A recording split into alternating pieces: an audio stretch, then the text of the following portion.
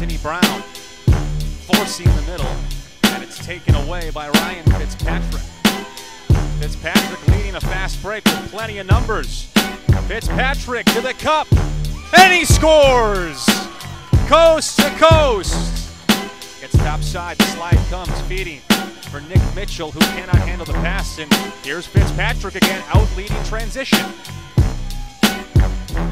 Throws a face dodge. Fitzpatrick has ideas about him. He scores again!